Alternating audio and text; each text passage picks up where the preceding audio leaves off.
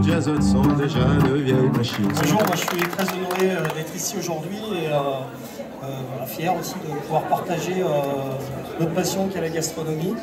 Euh, je voulais remercier également euh, les équipes qui m'entourent au jour d'aujourd'hui. euh, Oui, ben, pour notre troisième édition des- de l'automne des Gaumont, ben, on est vraiment ravis déjà de voir le nombre d'artisans et, et de- sur la commune, des- tous des professionnels qui sont répondus présents donc, à notre appel. D'ailleurs, vous voyez le nombre de personnes qu'il y a là aujourd'hui. Tout le monde est très heureux de déguster des produits locaux et à faire ça en voyage à travers le monde. La Chambre des métiers et le CFA du Bossé qui est ici présent, le président des bouchers de notre département, Jean-Daniel Tavet qui est là aussi et qui accompagne la qualité, les produits justement de tout ce que peut représenter notre département et notre région. Alors oui, cette année c'est parrainé par un grand chef. Vous avez donc euh, euh, Christophe, Christophe qui est un des meilleurs chefs euh, qui est à l'île des Anglais.